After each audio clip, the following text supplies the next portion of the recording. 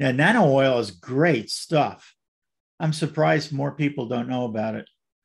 But Labelle is so pro, uh, prevalent that, you know, I used to use Labelle, probably three or four of their products. But uh, my goodness, the difference with nano oil is astonishing, especially when you can see it. Uh, it's it's something else. Mm-hmm. Now they've got a nano grease. Did you hear about that? Mm-mm. Well, they had three, they had two oils and a heavy oil uh, weights. Right. came up what they call nano grease. I haven't tried it. I, I'm not particularly sure I want to try it because the heavy oil does really great in the gearbox. And as near as I can tell, it doesn't gel up or do anything weird. So I, have been using that in gearboxes. And it's great because a lot of the gearboxes I take apart and clean or, you know, have been around 20, 30 years because I love to get old models and redo them and fix them up. That sounds like an article. Do a yeah. review of nano oil. Oh, yeah. Yeah, great, great, great product. I'm all, all for it. There's another product that if you're into machining, it's called Boelube, B E O L U B E. And Boelube is a, a cutting oil and cutting grease. And it, it was in, uh, used by Boeing, hence the Boe. Ah. And you can get it off of um, Amazon and a couple other places too. And for cutting cutting oil, oh my gosh, great stuff. Just absolutely great stuff. Makes it. Sorry. If you're machining, it makes a big difference. So are we talking machining metal or plastic or both? Actually, uh, I've used it on both successfully, but the primary use is on metal. Uh, and it, it uh, keeps the edges sharp on your tools, keeps the uh, cut sharp, Chris, great stuff. You know, I have no idea where they came up with all this stuff, but I heard about it from a, uh, a retired machinist at Boeing who posted something on some some blog or post somewhere years and years ago and got a hold of some and my god does it work well? Uh, those are two that i would absolutely recommend above anything else. There's a lot of many different cutting oils that are out there and a lot of them are recommended for a particular application like um, you know milling aluminum. They use a slightly different oil than than uh, milling steel.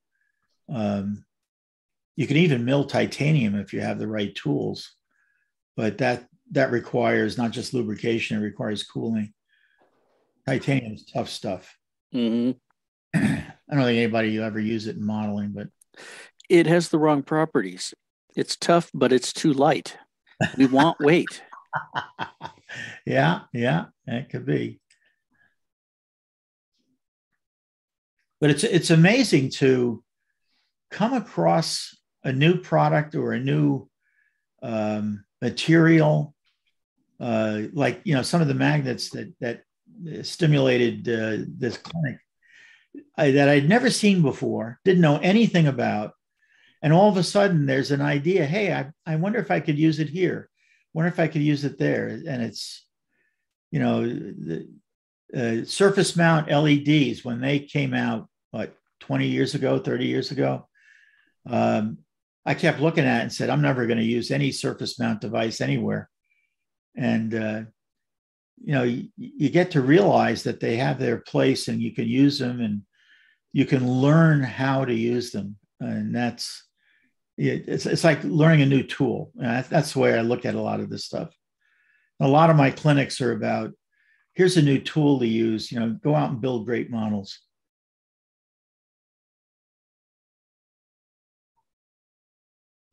I would have never thought of using uh, surface mounts, but as long as they come with wires attached, I'm good.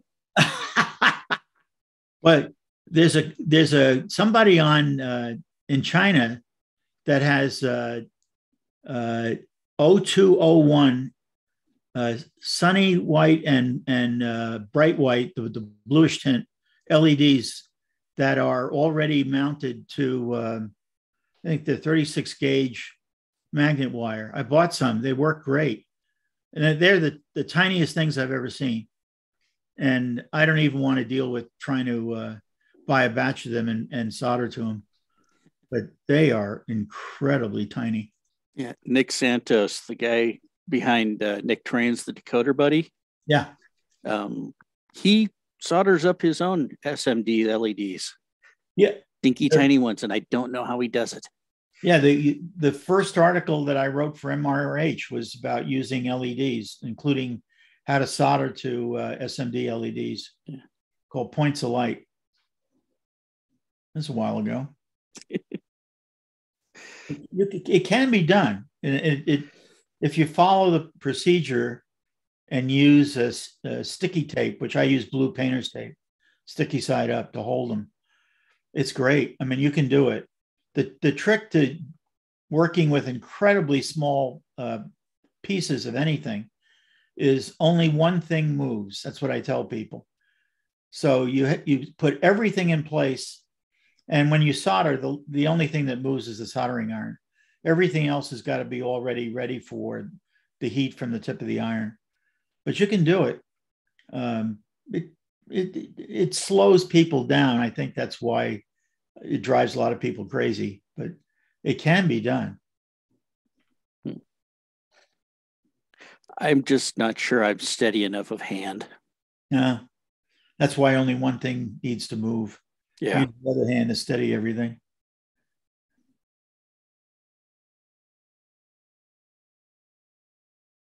Yeah, Pengra Pass actually, but yeah, we're uh, I've shifted gears on the ground base cover that I'm going to use. I was going to use ground up dirt and decided that was way too much work. Uh, and more to the point is that last weekend, uh, Marty McGuirk on the uh, Hindsight 2020 uh, virtual meet uh, kind of empowered me to rethink that as he was going over fall scenery.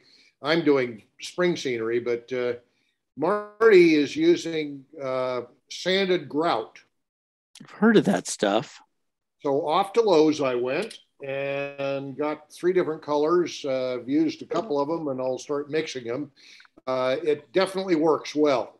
Uh, and what that means is no grinding uh, or, yeah, mashing and grinding of dirt and uh, other straining of it and all of the rest of that that goes with using real dirt. Are you sifting that, Bill? The uh, the sanded grout, I don't really have to sift it. It's already so fine that uh, I can just sort of uh, use my hand uh, with a uh, a, a, uh, a, butter tub, and, and, it just sort of lightly sprinkles. I mean, if I, I could I do have sifters, and I could use them if I needed it, but I didn't need it. How are you? How do you fix good. it in place? Uh, paint it with uh, white glue. Paint the surface. Okay, that'll keep it from turning into a paste and then cement, I guess. Yeah. So I have yet to experiment with subsequent co- coats on top of it, including things that wet it heavily, you know, because most scenery techniques actually use a lot of wetting. Oh, so, yeah. Akin to today's clinic, have you tried sticking a magnet into a pile and see if there's any uh, magnetic material in it? I yeah, I had actually thought about that with the real dirt routine. I, I, I, I, haven't actually thought about that. I may just go do that right now, grab a magnet and see what it does with the sanded grout, but I don't yeah. expect any problem there. I wouldn't expect it either, but you know, I've been wrong about stuff like that. Before. Right. You always have to check. Yep. I agree. good, good pointer, Geoff. Been there, done that. yeah. It is it is very fine. Uh, so, which makes it even worse. You know, if it's magnetic, that'll be wreak real havoc with motors. So, and when gears. you when you feel it after you've laid it down, is it very coarse? No, it's actually pretty fine. Wow. Which makes for good dirt. Yeah, yeah. Uh, in HO scale. How does it take paint? Don't know. I would expect pretty well, actually.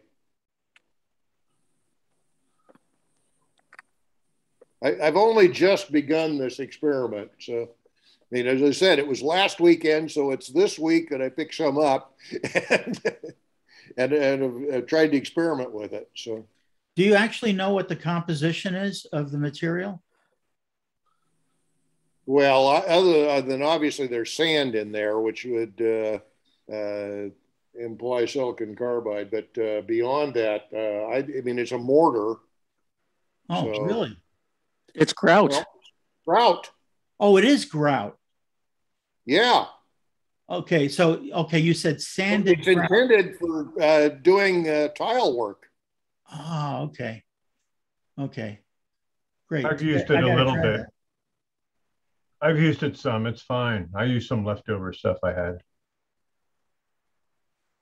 Yeah, it, it the thing that uh, I like here is that a I don't have to do any prep work to it, and b uh, I can get as long as the supply chain works, which or it's really the transportation net, because this stuff is I'm pretty sure produced in the United States or maybe in Mexico, uh, but on this continent. uh, means that I'll be able to get more as I need it.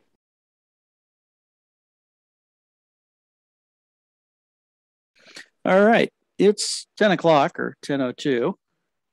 Um, so welcome all to our October meet. Um, we're going to try and reestablish this as being a monthly thing. Uh, we will be Zoom until we're allowed to actually meet in person again.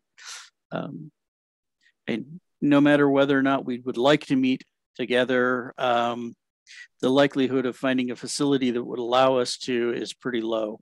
So we're not even not even looking for that at the moment. Um, so technically, we begin these things with a business meeting. Um, I don't know of any business aside from uh, what I just said that this is going to be monthly. Uh, to go over, uh, Richard has indicated that he doesn't know of any business we need to discuss.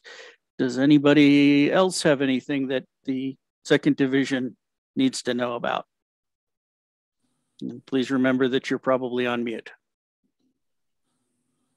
So one announcement actually is uh, if anybody remembers back on uh, February of 2020 at our last live meeting, we said we were going to have a boxcar contest. Ah. We have uh, a bunch of boxcars that uh, boxcar shells. You are welcome to take that boxcar shell and make something else out of it. When we actually are able to meet again, will be when that is due. And Jeff is now displaying said boxcar.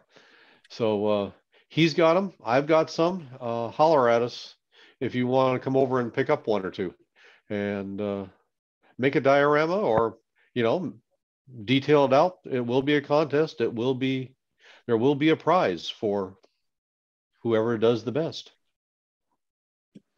Thank you, Richard. And on that, uh, y'all set, John? got the script, got my IT department here. Let's go to Estacada. Okay.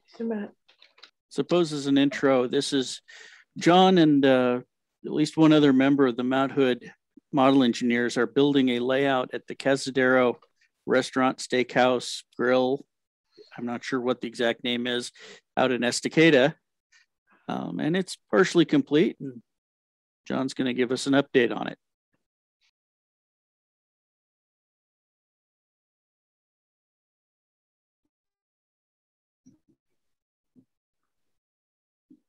There we go. Okay, so if you're driving into Estacada on Highway 224 at Highway 211, this is the sign you would see for the Cazadero restaurant. And don't ask me what that is on the reader board because I don't know the name of the family. Uh, so anyway, this is looking out of the back of the restaurant. I think that'd be a, something good to model because that bridge is out of the 30s, I believe. And this is before everything started to turn. Now I'm just going to be uh, the Chamber of Commerce for a few minutes, so hang in there, guys. And this is the hotel in Estacada in the 20s. And um, this is a mural that's done by a group called Art Back. And this one is uh, was painted in 1995 and restored in 2015. Now you're looking at this, well, well, that's a shade, but what is that? Well, it's when I first saw this, I went, that's the weirdest looking tree.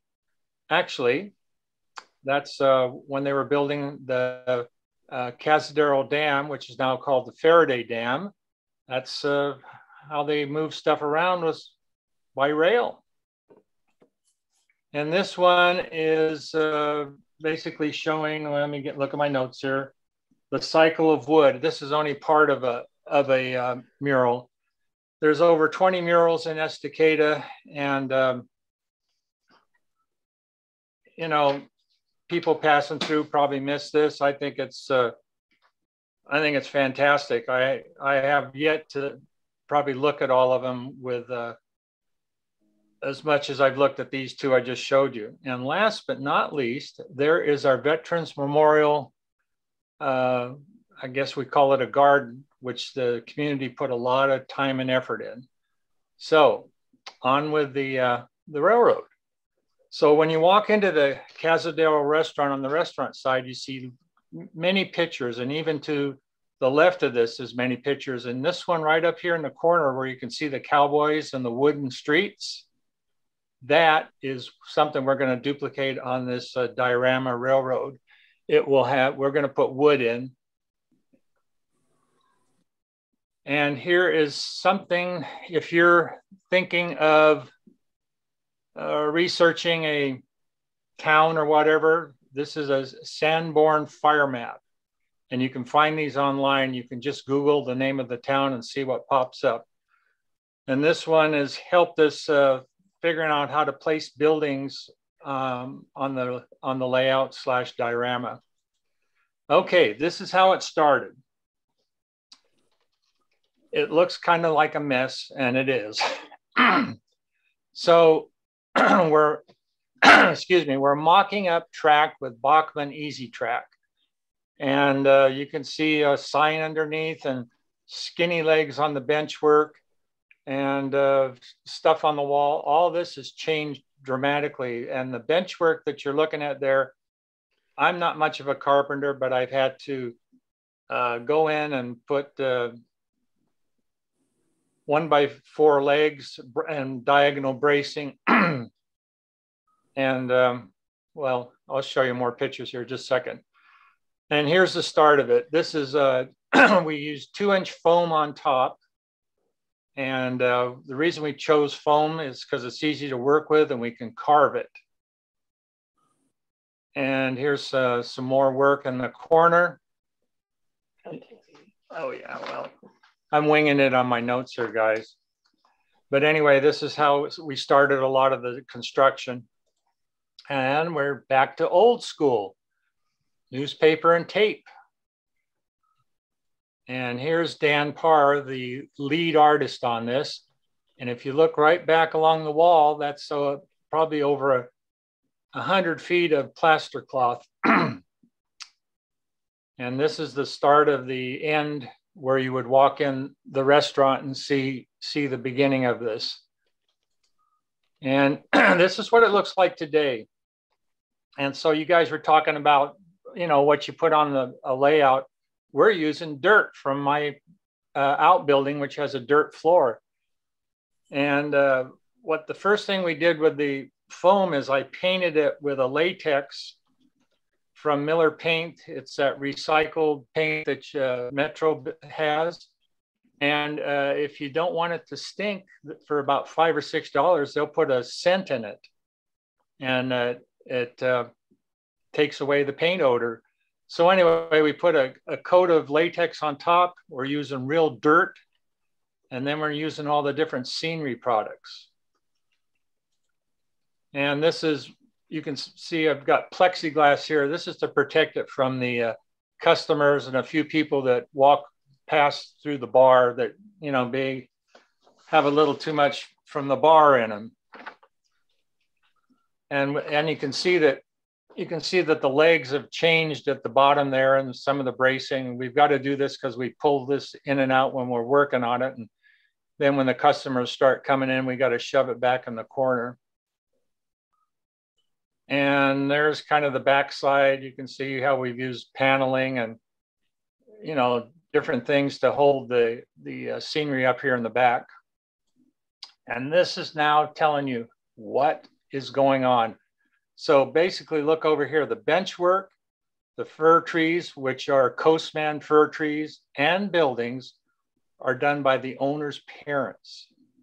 And then it's myself, Dan Parr, and another fellow, Jeff, who um, helps us occasionally with details from the Mount Hood Club, are doing the detail work and planning things out. So there's Dan again looking things over. Um, now we're using static grass and it's it's coming out fine. There's a lot of detail there that you kind of see some dead trees and you see a lot of undergrowth and um, and I don't know it's it's it's kind of hard to describe in pictures but we we're getting it down to its I think it's museum quality I mean not not that I'm bragging or anything but we could have made it toy like and yes we are using Bachmann's easy track all the way through this it's just a dog bone on each end and uh, we've started to ballast it. And when you ballast E-Z Track, you can hide it. Now, look at these buildings. Those are all printed on a computer. And that's what the owner's dad has uh, sent over. And uh, this is all new that we just put in this stream here and the bridge and and uh, it's just it's it's coming along that's that's a farm scene that would be to the uh, the south of Estacada, over over here on the on the far left. We haven't got the town in yet. We got the buildings, but it's all once again planning, putting in wooden streets, um, just a lot of little little things. And then this building here in the middle, you can just barely see it. It says Cazadero. That was a stop that was outside of Estacada years ago. And so this building replicates that particular stop. And they had these little farmhouses out there too. And once again, looking over the plex, we got a sawmill here that you can kind of see there. It's pretty tiny. I think it's a, one of the kits that's available. Um, and here is Bagby Hot Springs, something that's been talked about for years. And uh, this is, we're duplicating it, maybe what it would have been like in the 20s, because we don't know it. We've had a lot of people kind of give us insight, and we know it was pretty rustic. And then over here is, of course, the uh, the uh, hermit's cabin, and he'll have a donkey. And course, we have a lot of outhouses. Gee, I wonder why. And this is we were going to call this a logging camp, but it's more of a, a, construction camp for the workers that were probably building the dam. And uh, so all those tents are just paper. Um, and then we've added all the details and the and the underbrush and the vehicles and just a lot of stuff. These cars may or may not be on the railroad. Where we know uh, we still haven't worked out what cars we want to have. And this is Philip Foster Farm. So when you're driving to Estacada coming from Portland, you go through Eagle Creek, and this is this was a stop in the late 1840s for the pioneers coming out on the Oregon Trail, on the Barlow Trail. So all this is pretty much based on pictures that they've had uh, from years past. And these little buildings in the back were actually cabins where the pioneers could stop and rest on their journey out and you see, uh, you know, more Bachmann track here. I know it's not what a lot of you guys want for your layout, but hey, we're building it in a restaurant. We're trying to make it, uh, I guess, the KISS method, just keep it simple. But anyway, this was one of the first areas that was detailed, and we still got more fencing, probably put more animals in. I mean, it just it, it grows every every time we kind of look at it. So this is um, see the little sign there above below Cazadero. It says Command Center. So after the fires last September, this was also a command center and also a place where people could come and get cleaning supplies after things had calmed down. So we've been unable to get to the restaurant because of this, because of sometimes they closed it because of COVID. We had an ice storm in February, and a few weeks ago, they were shooting a movie here. So we've got a lot of history with just a bunch of, how should I say, uh, amateurs from a model train club trying to help out at a restaurant. Yeah, we're being compensated for all our expenses, but we're doing this out of the goodness of our heart because we just want this to be successful. And so here is Coastman, the gentleman there standing up with the shorts on, doing the clinic for his trees at the uh, convention in 2018. And there's Bill Decker, my goodness, and a few other people we know here. And that was taken from my back porch, or excuse me, my front porch.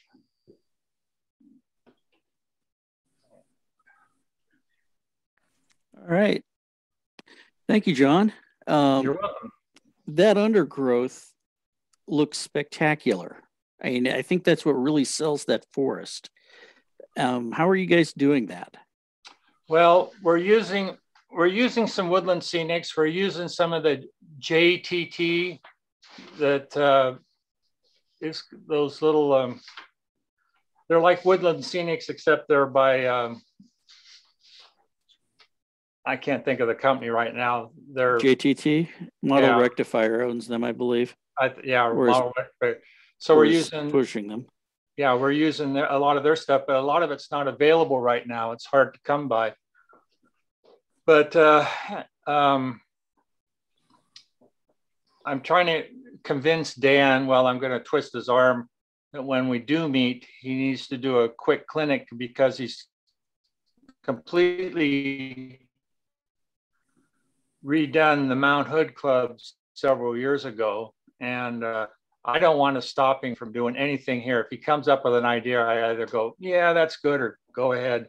You know, he's, he's a master at doing this. I'm basically the uh, go for flunky, uh, you know, billing clerk and, uh, you know, whatever. I have a question, John. Uh, I noticed you mentioned in, the, in one of the pictures that the streets were all wooden. Uh, what? Not, I don't think all the streets, but we're going to make one street wooden based on that picture in the restaurant. That's, that's unusual because I thought most of the streets were just dirt and mud. Most the well, they, yeah, we have pictures of that, but when we saw a picture of a wooden street, we're gonna we're gonna incorporate it. I mean, it's on the wall there. It you know, you got cowboys on it. The owner is a horse person. She wants cowboys, so we're gonna have cowboys and we're gonna have wood. That's really unique. I think that's interesting. Yeah, I think in Estacada, if you have a dirt road, you have a mud road. Yeah, well, we also discovered on some of the old pictures they also had a Safeway store, basically in a strip in a strip mall, or on a on a on a on the street, not a not a standalone. So, are you planning on uh, disguising the origins of the track a little more by uh, weathering it? Yeah, we're gonna we're gonna paint it and then polish it.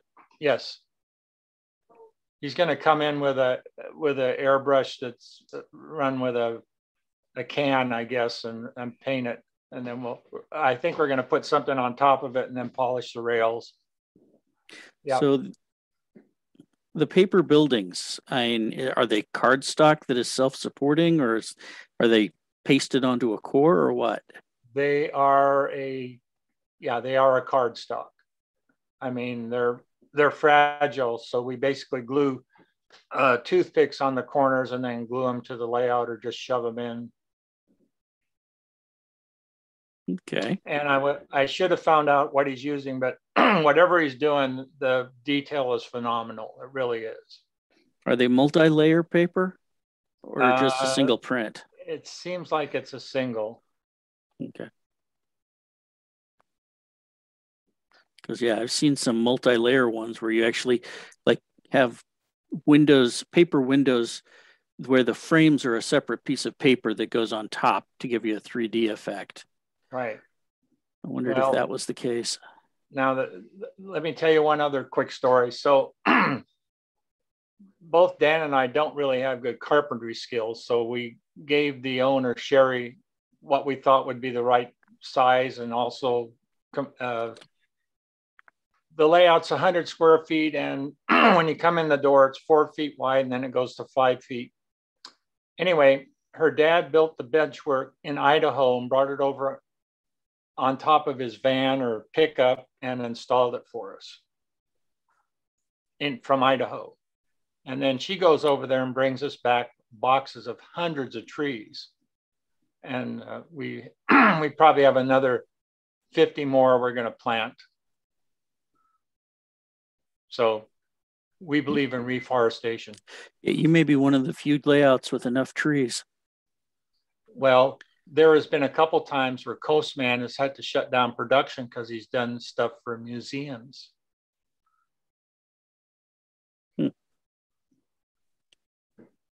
Anybody else have questions?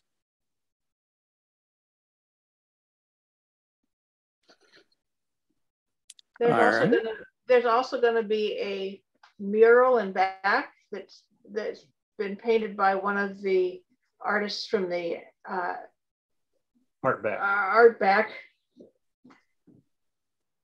We didn't get any pictures of that, though. Yeah, we're, I was trying to show you what we have done. There's there's a bunch of gaps, including a like a shelf in the front where we're going to have a dam and water. So um, yeah, we can do a little follow up on this. So are they painting the mural as a mural or as a backdrop?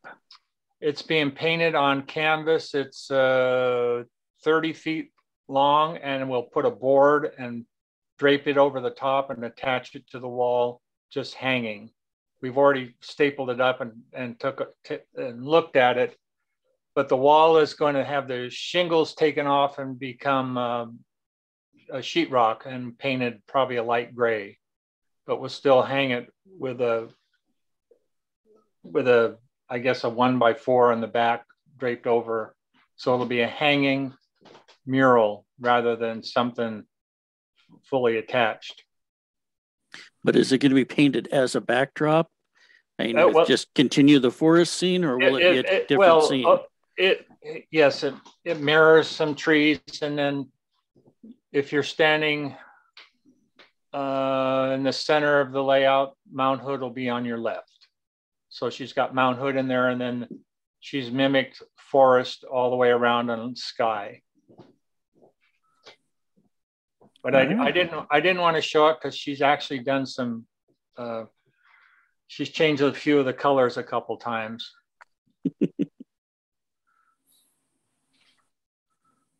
Yep. Well, yeah, we're definitely gonna in a few months probably want an update.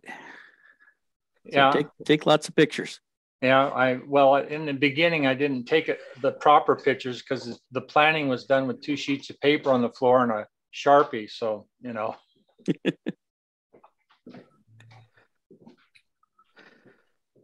All right. So Geoff, I think we need to have a board meeting out there. uh, they can arrange a, a private area for a group to overlook the water there. Yes, they can. And Harriet and my wife can talk to the owner. Yeah. Well, she's very good at lip reading too. Oh, good. My wife needs the practice, and she'll admit that. Well, uh, the only sign I know is when I'm going down the freeway and somebody's ticked off. So we'll just drop it at that. what, what sign is that? For the those of you who weren't there last night when we tested this out, um, the owner of the Cazadero is deaf, and therefore uses American Sign Language, which my wife has a degree in, and John's wife knows. All right. So unless we have some further questions, going, going. Mr. Bunza, show us what you're going to do with magnets. Do I have the screen, sir? Yes, I need to do that. Thank you.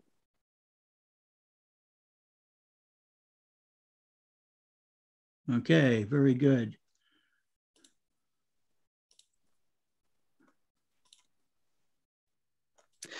Oh, and if anybody has any questions um, during the presentation, feel free to put them into chat and I'll go through that with them afterwards. Okay, uh, good morning to all. Um, we're going to talk about modeling with magnets, and I hope to surprise at least some of you with some new applications that you may not know about or have thought about. Uh, we'll see whether or not that's true. Uh, what I'm going to do is I'm going to go through kind of how I got into this uh, uh, area of uh, modeling.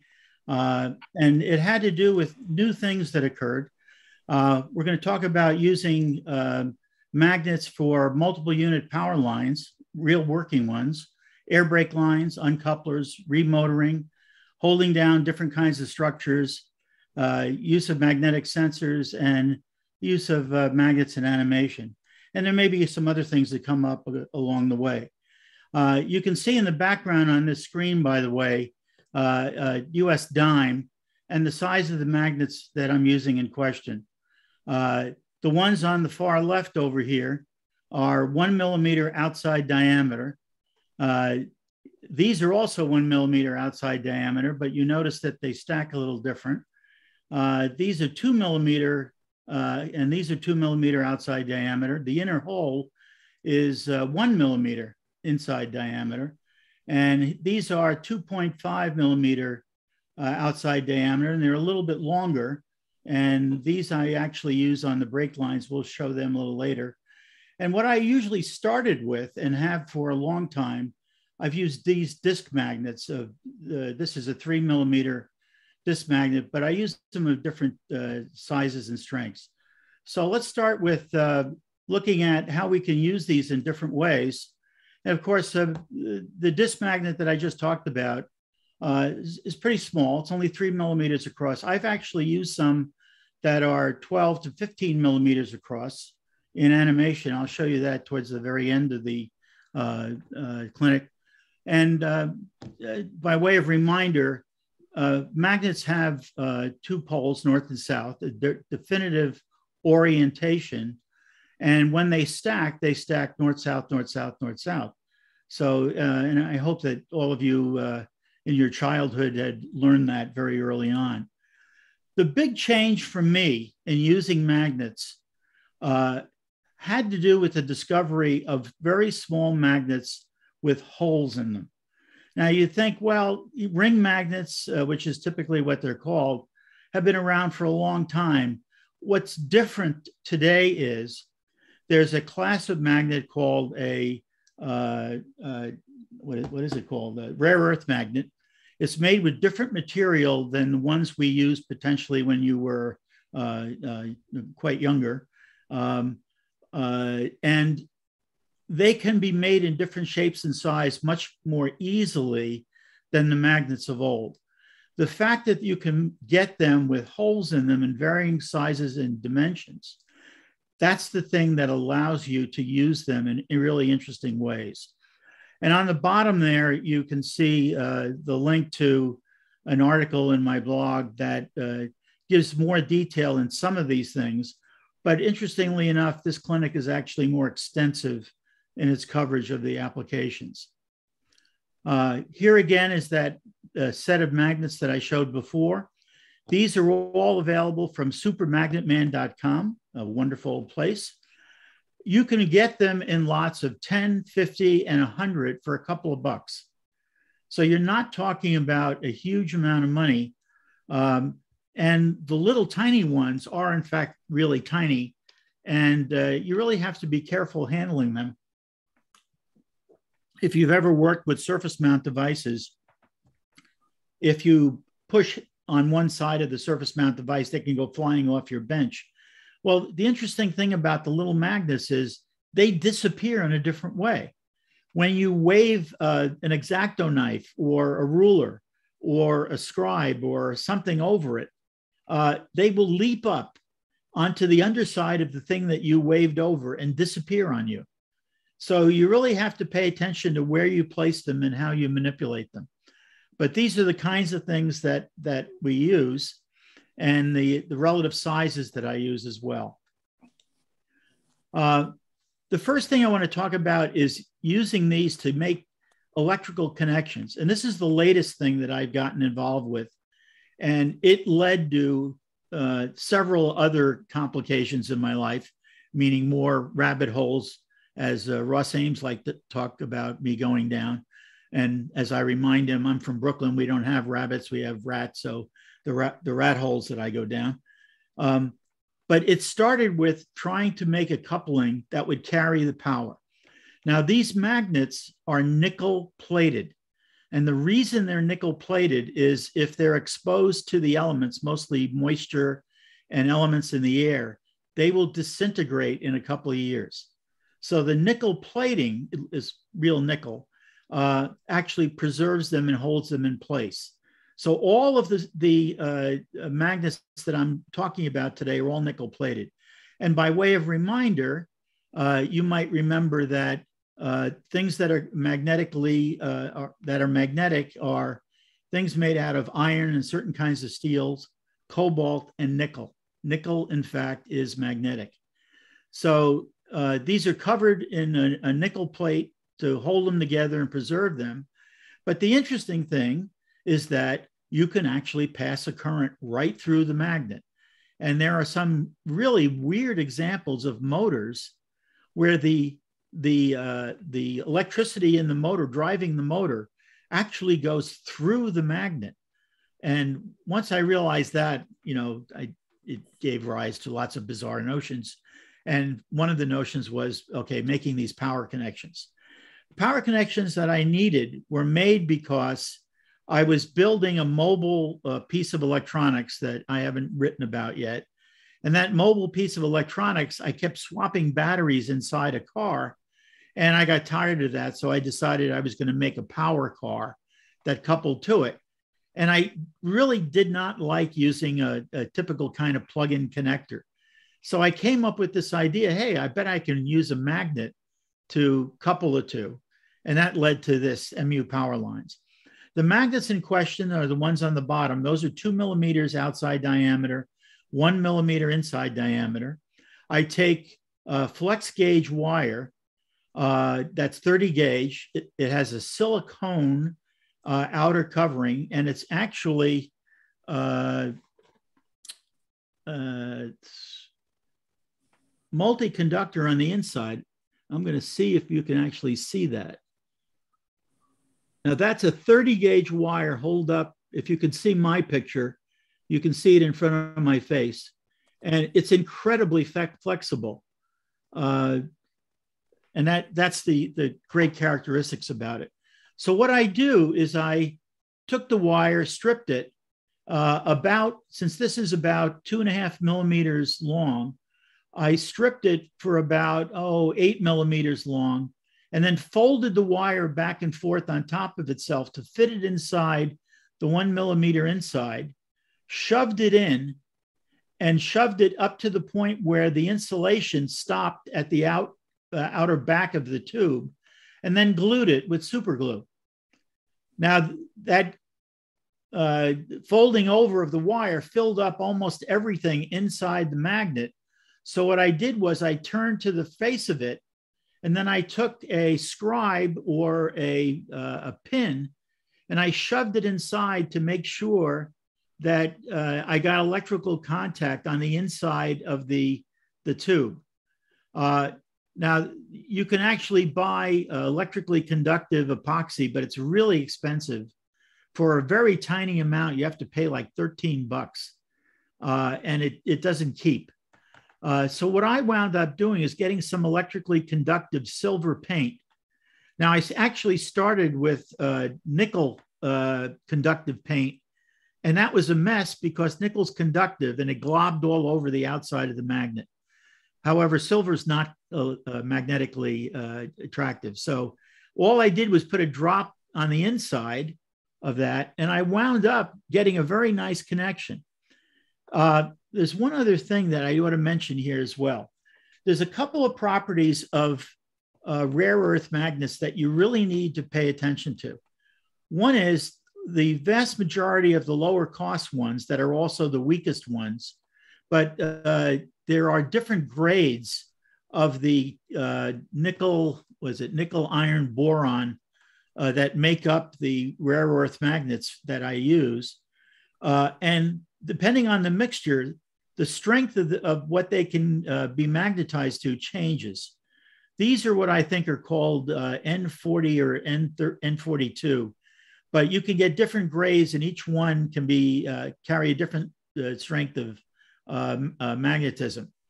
There are also different ones made with different materials, like samarium. They're also with samarium magnet uh, this size uh, would probably be three to four times the strength of the, these little guys, but they're also significantly more expensive. So you can pay attention to the grade of the magnet and also the materials that make them up. The magnets in question that I'm using that have a nickel covering uh, have two other properties that you need to be aware of. One is they're brittle. If you take two really strong magnets, and I'm going to show you two strong ones a little later, and you let them snap together like kids like to do, uh, if they're strong enough, they will snap together so fast and so strong, they will chip or break or crack, uh, ruining the magnet. Uh, so you need to be a little bit careful, uh, especially if you start uh, thinking, well, I'm going to use stronger and stronger magnets. Very careful. The other thing is the nickel iron boron magnets that I'm using and even the ones that are slightly stronger in magnetic force uh, have an odd property that at about 186 degrees Fahrenheit, if you warm them up to that temperature, they will lose their magnetism. They will degrade. So soldering the 30 gauge wires to the inside of the magnet is completely out of the question. Uh, I know that there is solder that will that will melt at a lower temperature but I just didn't want to chance it because warming magnets up is a good way to degrade their performance. And the little tiny ones I'm using are strong enough for the application, but they're not super strong. So those are a couple of interesting properties that you ought to realize. There's another way to deal with this though, and there's some techniques here that, that you might want to pay attention to if you're working with tubes and really small material. And that is that the other property of these ring magnets is that they're incredibly accurately built with, with precision. So when I said it's got a, two, a one millimeter inside dimension, it has literally a one millimeter inside dimension so that you can take a one millimeter tube, which you can get, and you can actually use it to connect to the magnet, to the nickel inside the magnet. And here's how you do it. You take the tube originally and put it under uh, a piece of tape. Now, this is just a, a piece of blue uh, masking tape. And here's the one millimeter outside diameter tube, put it all the way through. And originally, this wasn't here. And I just took a uh, uh, Dremel moto tool with a, a friction cutter and just cut right through the tape in the tube. And the neat thing about that is nothing goes flying off your bench. It's all held in place. You get a clean cut, which is amazing. And the two pieces, including the original tube and the little tiny tube, are still there. So here is this piece of tape cut over here and then rolled back up. And there's the little tube that I cut. And it's barely bigger than the magnet, the ring magnet I'm going to insert it into. So I take that out, I put it under a separate piece over here, and then I take my wire and I stick it in and I solder the end of it. Here's the end solder. Here's the brass tube here. And that's how you make the connection to the tube. And some of the solder will flow inside.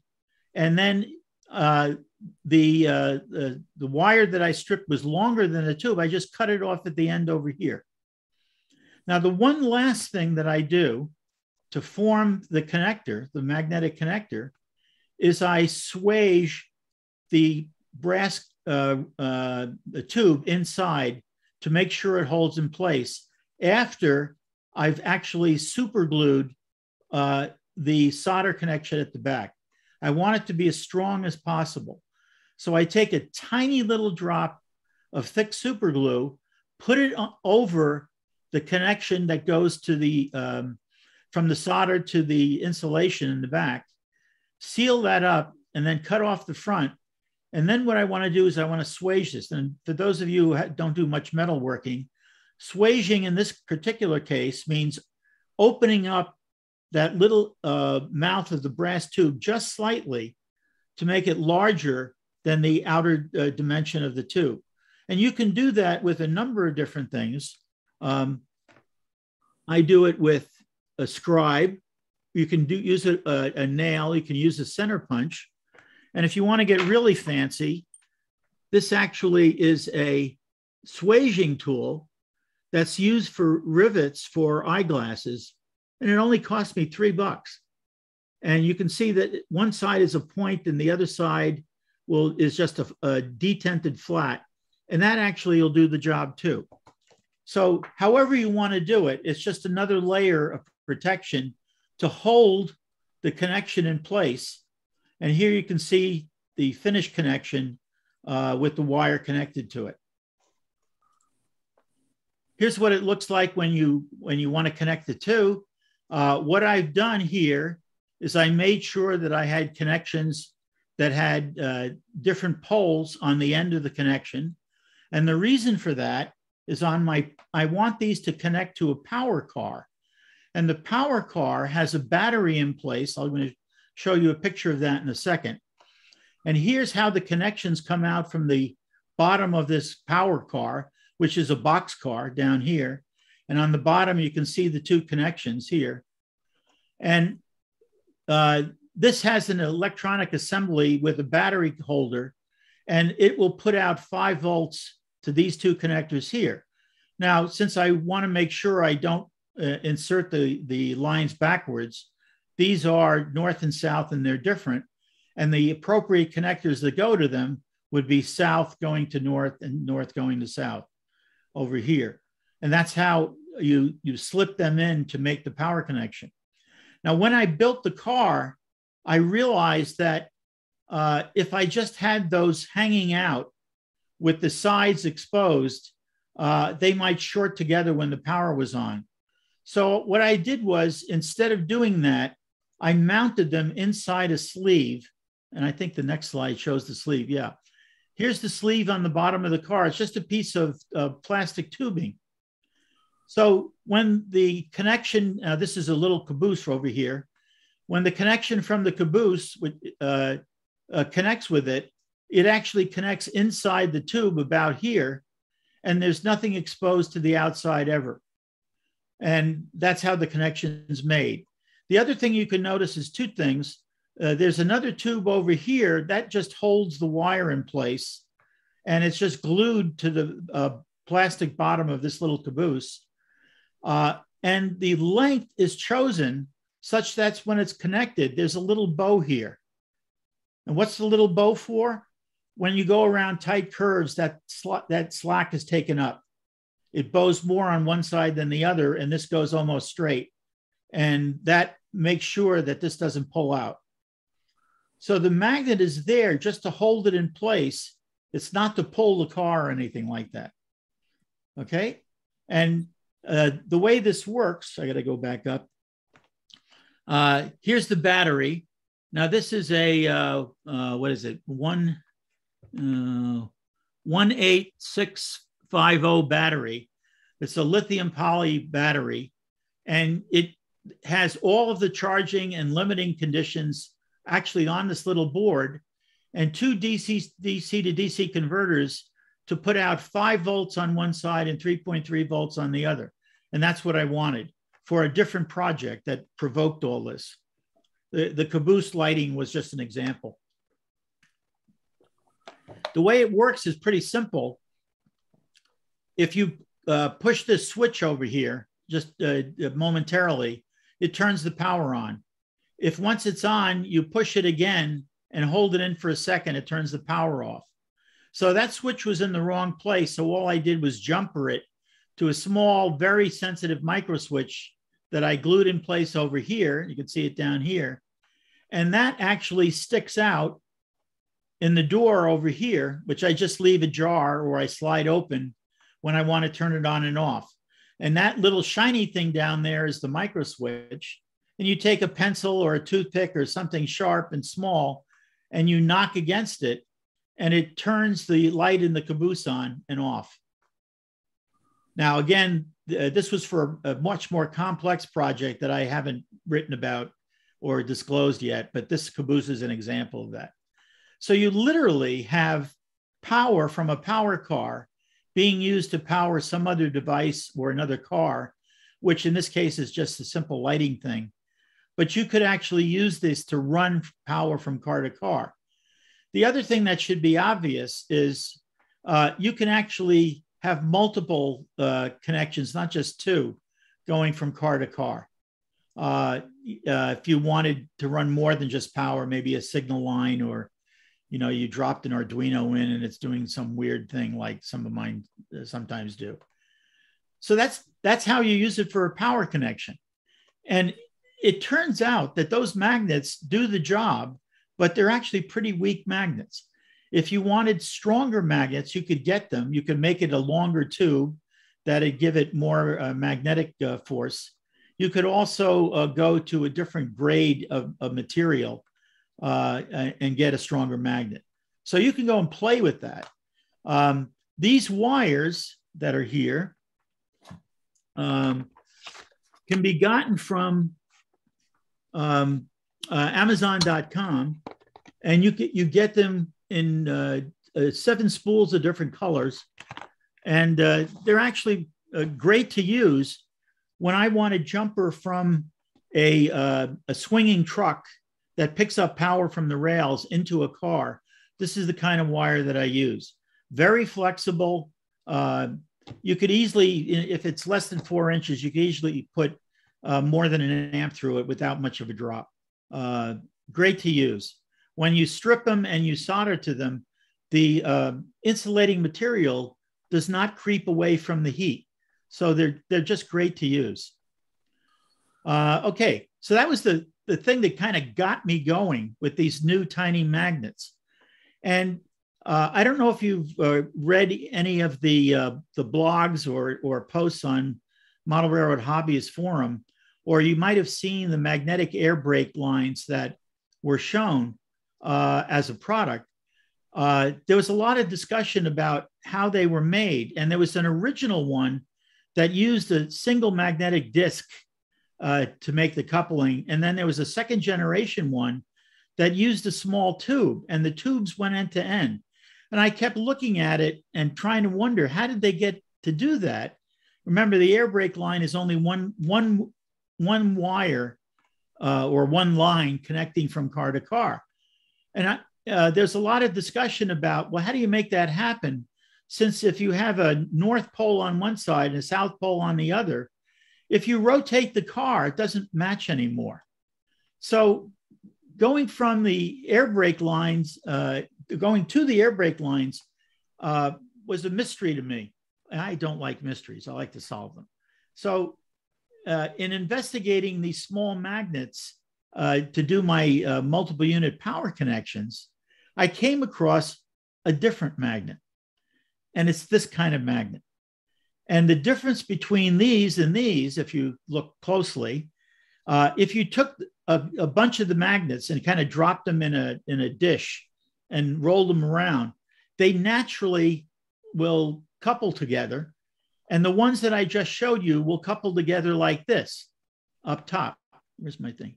like this. These magnets down here that are used for the air brake lines couple together like this. They couple side to side. Well, why? Well, because they're not magnetized the same. These up here are magnetized axially. So the north-south pole follows the axis of the, of the cylinder.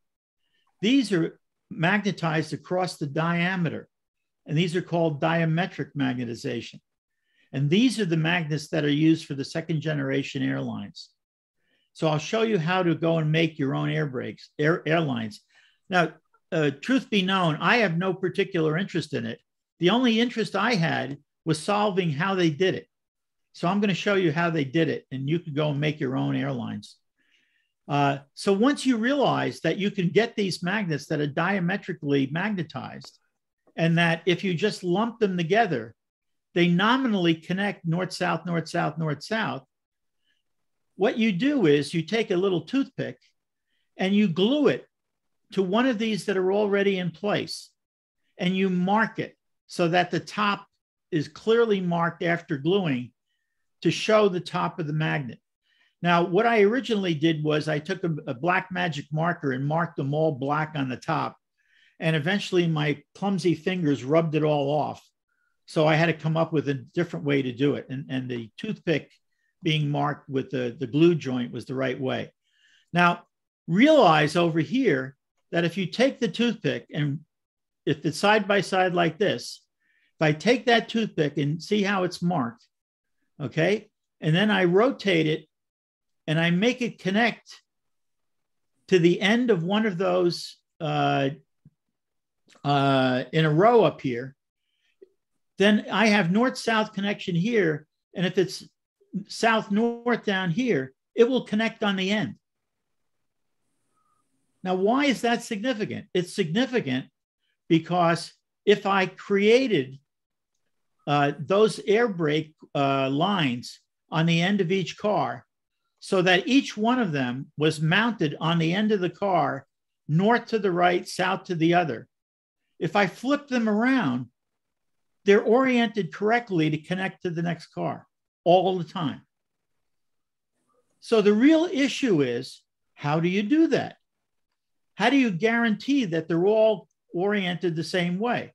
And the key, again, goes back to the, the standard quote unquote magnetic connection that you have with a toothpick.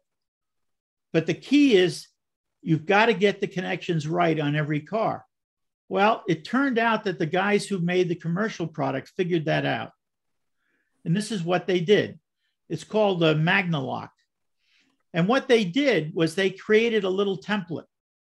And if you look closely in the template, one of their little magnets for the air brake is epoxied to the template in the right orientation. So that in effect, it's got north south here. And what they tell you to do is take the hose that has its magnet connected to it and just let it ride and connect to the template. And they provide a little plastic piece glued to the template that just puts it at the right angle with an HO car to, to super glue to the car. So it's oriented correctly as you it is hold, held in place to super glue the brake line to the car. So you're guaranteed the correct orientation and the connection every single time, as long as you use the, the template. Or you can use the Geoff Bunza standard template and you do exactly the same thing. But this is really clever because it actually holds it in place for you to super glue to the end of your car. And that's how it works. So the entire trick to it is picking the right magnet and then using the template that has the right orientation. Because notice if you rotated this 90 degrees, it doesn't work. You have to have side to side symmetry so that when you rotate the car, you still get north south in the same orientation at each end of the car. And that's how it works. So you can actually go instead of paying 30 bucks for six or whatever they charge, you can go and make them for a lot cheaper if you want. The thing you'll have to experiment with is to pick the right tubing, which could be a wire, it could be a piece of plastic, but it's got to be really flexible because after you uh, glue it, you pull the template away. This has got to hang down in exactly the right orientation uh, with uh, some uh, pull over towards the center, center because when you couple the cars, you want the two magnets to jump to one another. And in fact, they do. So it's really clever. Uh, from my understanding, it was first discovered by uh, a Canadian modeler, um, and uh, then he sold the rights to um, what is it, PRCS or whatever it is, uh, that are now sourcing the Magnalock uh, air brake lines. But that's how they work. So, having solved that, uh, I want to give you a couple of other examples of things that I've used. Uh, one is uncouplers. The Kadee uncoupler uh, coupling magnet is great, but you got to dig out, you know, uh, underneath the, uh, the layout, uh, underneath the track. But you can solve it by using three by three cubes. And this is, was written up in two places on uh, the MRH uh, forum. And, and uh, there may have been an article too, I don't remember. But I remember there was a blog about it. So what they did was pretty simple. It was upgraded with a suggestion from Pierre 52 in New Zealand. Uh, you take the three by three by three cube magnets, put them all in the same orientation. And what he did was instead of gluing them together, he actually not only glued them together, but he took a piece of very thin styrene, glued them onto the styrene, and then he could lay them in the track any way he wanted. And you can actually substitute these for a tie, and they look pretty similar uh, once painted, or you can put them in between ties. The key to get, getting it to work, by the way, is to have them all in the same uh, orient, polar orientation. And they work great as an uncoupler that you can put anywhere you want. I've also tried this with, um, uh, what is it, three millimeter discs that you can super glue in place between the ties uh, such that the discs you put on one side of the track are all south facing up. And I think I used one or two and then one or two on the other side of the track with north facing up. So again, you have different poles on either side of the track to pull the uh, uncoupling pins in different directions. But that's a, a really easy thing to do if you're, if you're going to use magnetic uncouplers. This uh, has been written up a million places, but there's a couple of things that you ought to uh, know about this. Um, in the older motors, uh, this magnet here down at the bottom is made out of a material called Alnico, aluminum, um, aluminum nickel cobalt. And these were permanent magnets uh, that were used uh, in uh, DC motors, in the older DC open frame DC motors. And what a lot of people don't realize is that over time, if the motor heats up, that heat from the motor will make the magnet weaker.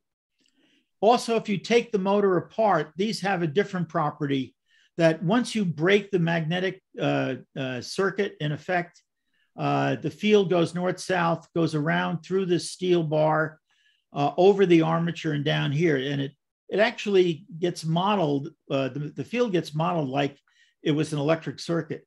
When you break that, uh, usually there's a screw that holds it all together and you pull that magnet out, it turns out that significantly weakens the magnet if you take the motor apart to clean it. So 30 year old Alnico open frame motors uh, with Alnico magnets actually weaken over time. And you can take that out, disassemble the motor, usually with a screw somewhere over here, uh, sometimes actually through the magnet. Uh, and if you take it apart, you can actually throw away that Alnico magnet and substitute it with a stack of uh, uh, neodymium magnets, rare earth magnets, uh, as long as you get the poles right. And in this particular case, the poles need to be going through uh, the, uh, the face of the magnet here. You don't want the poles going side to side. You want them to go the same way that the Alnico magnet was going. If you reverse them, when you power it up, it'll simply go in the opposite direction. So all you do is take it apart, reverse the magnets, and put them back in again. Again, using with magnets this size for neodymium magnets, you need to be careful because they're a lot more powerful. If you snap them together, they can crack. If you snap them together, they can chip. Uh, and that's not a good thing. But if you're gentle with them, you can handle them. The other thing about using them that you should know is that if you want to separate them, the way you separate them is not by pulling them apart, it's by sliding them apart. Uh, let's see if I can show you this. Here's the two magnets that I'm going to show you a little bit later. And when I just store them, you can see I've got about oh, eight, eight to 10 sheets of paper. These are sticky notes uh, in between them. And the reason for that is that the distance weakens the field. And because of that, I can actually move them much easier. If I took them apart, uh, slid them off the paper and let them go uh, uh, snap next to one another, it'd be a lot more difficult for me to take them apart. So that's a one of the things you need to learn and keep in the back of your mind. Now, in replacing these magnets, you can you can have a stack of them, and you want to get magnets that are approximately the same size and stack them up. Now, in the example from the MRH forum, uh, this person actually used much smaller magnets, and he not only stacked them vertically, he stacked them horizontally. As long as you get the poles to go in this direction, you're fine. Uh, these magnets stacked like this with that are a little bit bigger will most likely give you a stronger field than magnet stack like this. The one last thing to know is that if you look really closely at uh, the way this is mounted here, uh, this is just a shape to hold the, the top bar and the bottom seal bar in place to form the field around the armature. Uh, this is a little bit off in terms of distance. This stack of magnets is actually slightly higher than the original Alnico magnet. You can get away with that. What you can't get away with and what's tougher is if it, this stack was slightly lower than the Alnico magnet because it might not make the entire stack and you might have a little tiny gap there. You don't want that. But there's a really easy way to get around the gap. You don't put plastic or anything in there. You take steel or shim stock steel and you put it in in place. And that will make it every bit as strong as the original. In fact, these the field from these uh, neodymium magnets are probably going to be on the order of four to eight times as strong as the original Alnico magnet.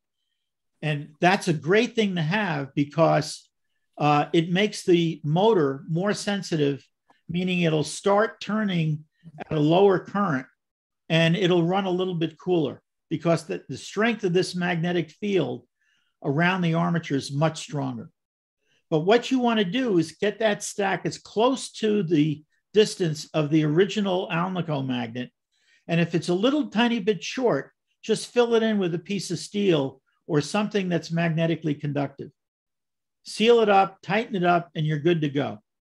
So you want this piece of steel to the, the magnet basically to be closed. And you get the best possible field around the uh, armature core. Okay, it's a, it's a really easy fix, and a lot of people don't realize that if they've got these really old motors, that magnet probably is not nowhere near as strong as it was originally, and it's due to heat and the possible disassembly over time that some modeler may have done. Okay, Next thing we're going to talk about is using magnets to hold down structures. And there's a really easy way to do it, and that is to put a magnet on the bottom of a structure or, the, or, or below, and to use a piece of steel or, or cobalt or nickel uh, on the other end. And you can actually just take it, drop the, the structure like a building or a figure or a signal, and just mount it on top of that steel shim stock. Now, there's no alignment issue, and that'll stick anywhere on the steel. So that's a, a, nice thing to know about. It'll hold it in place depending on the strength of the magnet and the size of the piece of steel. Uh, I use this in buildings to mount roofs when I've got a complex animation or mechanical assembly inside the building. So here you see a, a small building with four uh, three millimeter disc magnets mounted in the top. And in the roof itself, I just have, uh, I think it's uh, 0.005 pieces of steel shim stock. And I can show you what how that looks and where it comes from. Here's the box. Here's the box it comes in. And I actually got this at the local hardware store once upon a time, and you might be able to see just how thin it is. And it's actually thinner than some uh, aluminum foil, but it's much stronger and it's magnetic. Uh, so you can glue that in a flat piece. You can cut it with almost anything. I usually cut it with scissors. And then I just glue it to the top of the roof. And what's not really shown here is that uh, I usually use a piece of uh, a roof, roofing material or wood that makes the alignment, and all the magnets are doing is just holding it down. Uh, but it's a really easy way to, to mount the roofs on so that you can remove them. So the, the hold downs, uh, I originally started using them to hold down uh, equipment on flat cars, loads on flat cars. And a lot of my cars are the old Athearn Blue Box uh, models. And those of you don't know, on the flat cars, there's a piece of steel that runs the entire length of the deck that's right underneath the deck. So if you take a neodymium magnet and put it on the uh, under uh, part of the uh, load, like maybe behind a tire or, you know, if it's a box uh, in, inside the box, uh, it'll actually stick to the top of it. And if you've got braces to hold it in place from rolling around, uh, it's not going to move off that car. So it's a great way to, to mount the load onto a car that's removable. Uh, likewise, if you've got want a gondola load or a load for a hopper, uh, you can use a magnet to hold it in place as well. Again, I mentioned before that one of the big changes for me was finding magnets that are now uh, uh shaped in all different kinds of useful ways. And now you can get magnets that are actually countersunk. And I use two different kinds. One is uh, countersunk for a 256 screw, and the other is countersunk for a 440.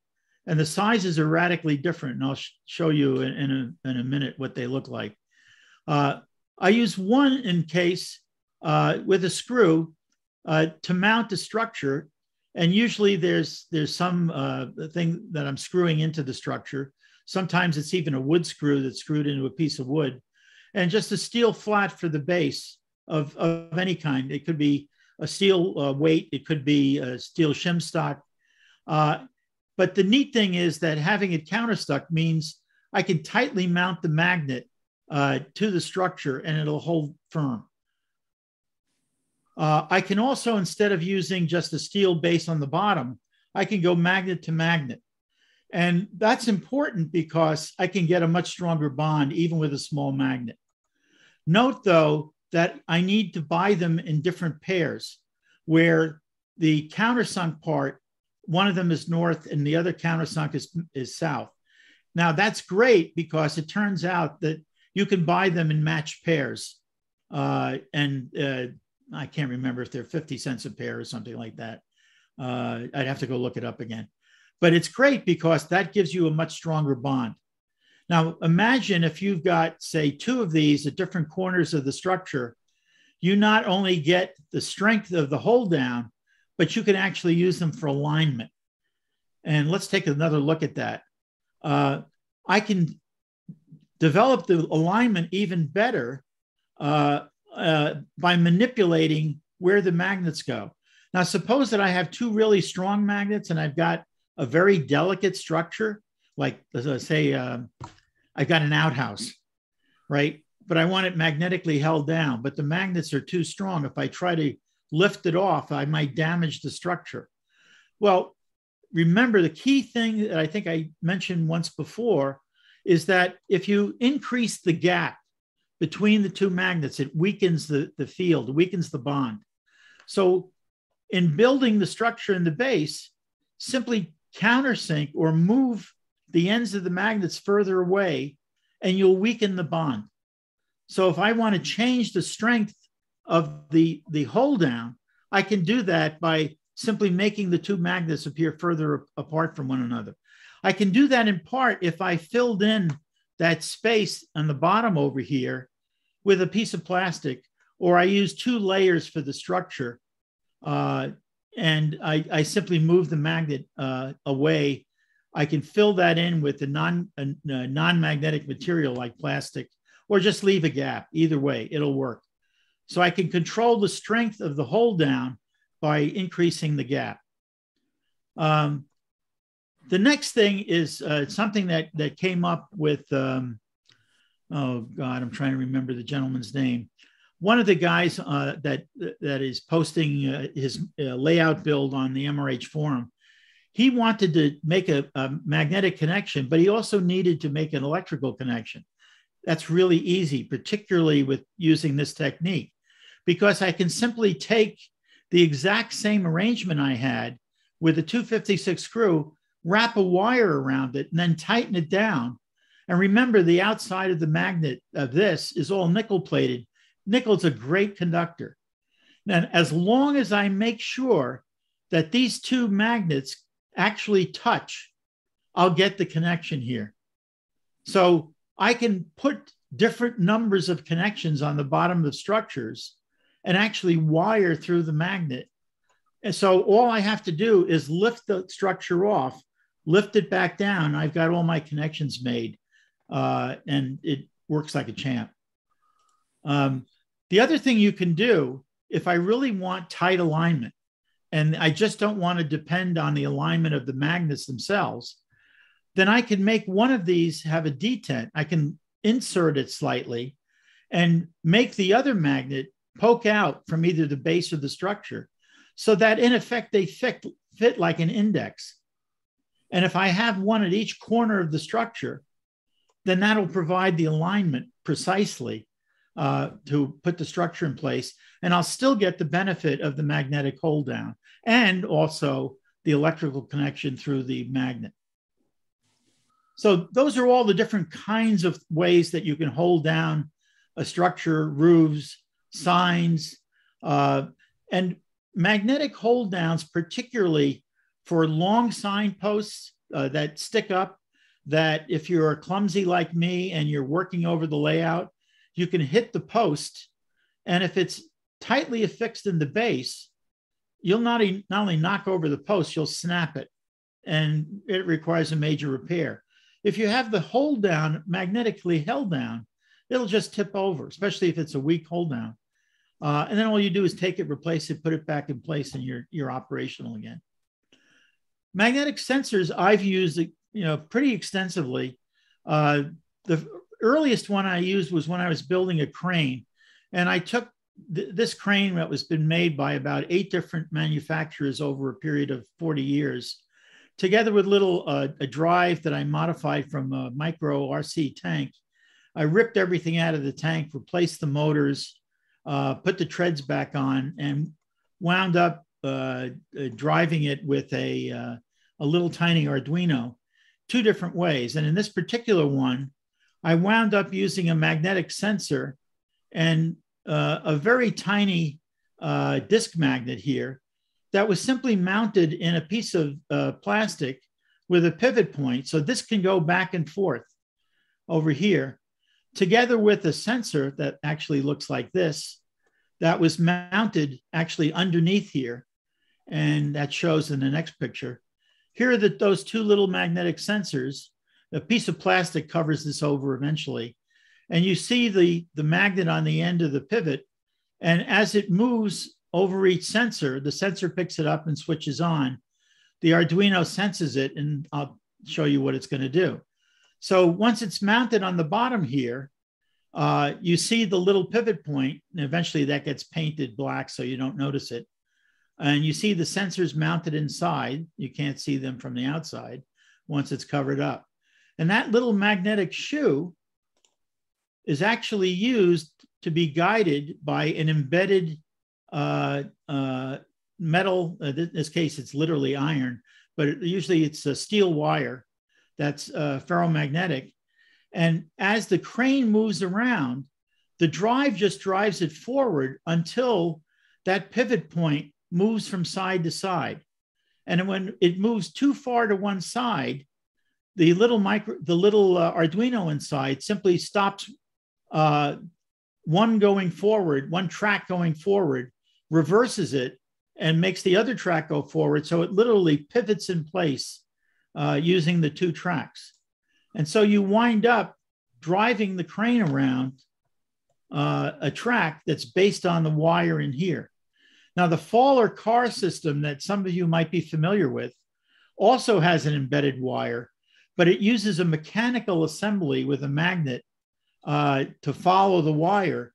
And that mechanical assembly actually pivots two wheels in the front of an automobile or truck. And that's how that works.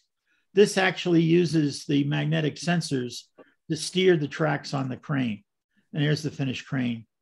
Uh, and that becomes a wire guided crane.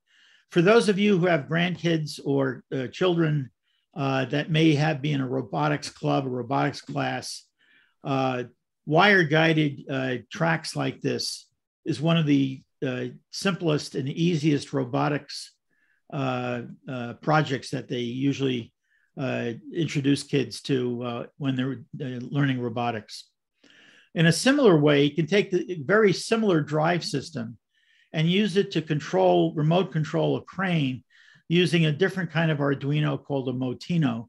And it's, it's like a, uh, an Arduino Pro Mini, but it has a little radio uh, transmitter receiver that's actually mounted on the same board. This was written up in uh, uh an article that I'll re refer to at the end. Uh, the reason I'm showing you this is that this introduces another use of magnets uh, that starts by putting a one by one by one millimeter magnet in embedded in the end of a hook.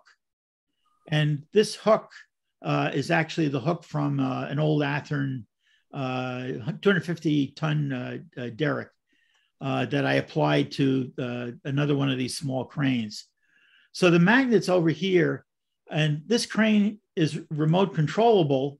Here's, you can see it up close and personal insert of the magnet uh, you, you basically drill a small hole, insert the magnet, epoxy it in, and then paint over it. Once you paint over it, you can't, you can't even notice that it's there. And it's used to pick up a box. And the whole issue with magnets and this is you can pick up a box if you put, insert a little piece of steel in the top of the box.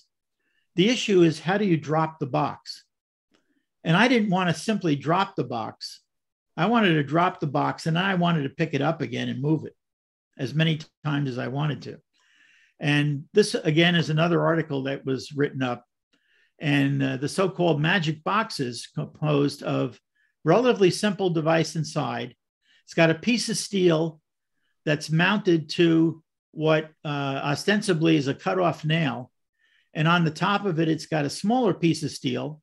And there's a little spring magnet that's a G scale Kadee coupler magnet uh, spring that is used to hold this up. And what happens is you insert this inside the box like here, and notice that the spring will keep it up to the top so that when you drop the, the hook on top of the box, it connects with the little piece of steel on, on the top. And the big question that I originally posed as a mystery question is how do you get it to drop? Since it's just connected there. And the, the, the most common response was, well, you get a bigger magnet to pull it down when you drop it on a, a, a, a you know, a, flat somewhere. And the problem with that is that if you have a bigger magnet to hold it down, then when you go to pull the top magnet away, uh, this gets tighter and tighter and tighter until there's enough force to pull it away and this goes kind of boing like a cartoon crane uh, or a trebuchet and launches the, the hook up. And it's completely unrealistic. So what you do is you create a deck like this, and you got your magic boxes loaded on the deck. And inside that deck, you have a whole series of other magnets. And these magnets are, uh, let's see, I think they're one millimeter by about 15 millimeter uh, disc magnets. And you'll notice that they're, they're glued in place, super glued in place, and they're alternating north, south, north, south, north, south. Well, there's a reason for that. If you don't alternate them and they're all north facing up, and you try to drop that in the middle of it, uh, the field is such that it doesn't grab hold of the bottom. Uh, and I could go through and outline the field for you, but that, that's bad conversation at this point. So the way you make it work is you alternate the magnets so that it'll grab the bottom of, of the, the, the, uh, the box. And you, with the magnets raised to the top of the deck, it'll hold it down. If you, uh, and when I say hold it down, remember what it does. Uh, I got to go back. What it does is it's going to pull this bottom down, which means that it creates a gap at the top of the box. And that gap severely weakens the bond to the hook, which means you could just lift the hook up with, with no interaction. So by leaving it raised, uh, when you lower the, the box down onto the deck, you have the, the uh, magnets down. So you lower it to the deck, you bring the, the uh, inside magnets up, it then pulls the, the piston uh, down, releases the hook, and then you could let the hook go. And if you want to pick the box up again, you simply lower the magnets on the inside of the deck down again. This is done with a servo. And there's nothing holding the box down again, which also means that this is released so that this is at the top of the box again. So if you bring the hook over to the top, it'll pick up the box again. So you literally can release the box, pick it up, again, move it somewhere else, anywhere on the deck, and it works. And there's no jerking around of the box. So again, this is another use of magnets in the animation. Last, I want to show you uh, two things. Uh, this is a typical uh, drive that I demonstrate when I'm talking about animation with uh, motors. And this is a, a simple uh, drive where there's actually two magnets mounted on the bottom of this forklift. And the only difference is, and they're again, they're the three millimeter disc magnets. One has north facing down, the other one has south facing down. And there's a screw drive on the bottom of this that shoves up to the top of the plastic base two other magnets, one facing south up and the other facing north up. And you'll notice that they couple to hold this in place and when I activate the screw drive, this little uh, thing that looks like kind of an overgrown nut simply traverses the screw from one end to the other. And there's a little uh, tiny micro switch on both ends. You can see it here. When it hits the switch, it activates a relay and reverses the motor to go in the opposite direction. So this actually will automatically move the pickup from one end to the other back and forth. And if you place a box in the middle of it on a on a uh, skid, it'll actually there's a magnet mounted here. It'll actually pick up the uh, skid and move it to the end. And the idea was that uh, you can uh, leave the skid at the other end over here uh, and, and create the animation of this going back and forth. And it's all done with magnets, and these wheels are turning because it's being dragged along the same route. Uh, and you might think about it. Uh, uh, there's actually a way to, to deal with this without a screw drive where you uh, could uh, actually have this turn a, a corner. Uh, but I don't want to get into that. But speaking of turning corners, there is a commercial product that you may be aware of where they've got, and the first thing I'd seen with it they have figures. This is an HO figure, by the way, on a bicycle. And this bicycle is on a, uh, a, a, a surface like this, except you see the bicycle moving along and the figure's legs are moving up and down, pumping the bicycle. And that's another uh, uh, magnetic drag uh, animation. And you see the two magnets over here that are on the bottom and they match to two magnets in this uh, uh, other mechanism that they created. And this is a wide mechanism. They embed the magnets in the mechanism to drag the bicycles.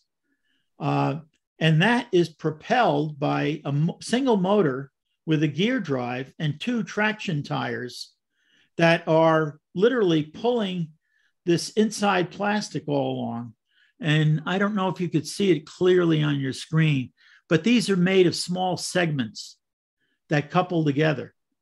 And those segments are pulled along inside this track. And that's a U shaped channel that you can form and curve all around and make all kinds of patterns. And of course, uh, there's a limit to the uh, arc you can get, the minimal arc you can get uh, on a turn. But it works quite well. Uh, again, there's another way to do it that's a lot less expensive. And someday I'll write that up. Uh, but this is commercially available. It's a little spendy. The interesting thing to me is you can actually buy the figure and the uh, the bicyclist um, independently, and I can't remember. There's somewhere between thirteen and twenty dollars. Uh, and this is uh, European made, although I think I've seen a couple of people selling it in the US, and it's called Magnorail. And this is the Magnorail here. And this is on the underside, like my screwdriver is up here. So you mount that on the underside, you cover it with plastic, you mount your, your cyclists, and they also have cars. And uh, there's actually one where they drag a boat around the lake uh, that they've got too. The neat thing about this and the way it works, in case you don't know, uh, the leg is in two pieces. There's a joint here at the knee. There's a joint over here at the side of the figure. Um, and there's a, a, a, very small disc, and it's uh, clear plastic right here. Well, it turns out that that disc is touches the surface over here. And as it's dragged around, that disc turns and it moves the two feet on either side up and down. It's a really clever uh, uh, design, uh, and it does work. Uh, there's lots of videos on YouTube of it. Uh, lots of people have used it, but it's it's quite a nice animation to see. But you could actually use it for cars and other things as well. Um, so that's the end of, of this. Uh, you'll be able to get this downloaded from the Second Division website. Uh, and it has references to where to get the magnets and the wire. Uh, this is uh, uh the URL uh, for my presentation, but I'm going to send it to Jeff and he can put it on the second division website. Uh, and you can get the references to the other stuff that I referred to as well. So it's a wide ranging set of things. And what I hope you got most out of it was not so much how to build the models that I built, but how to use the magnets as tools in your own modeling to do some really creative things. And uh, I hope you enjoyed it.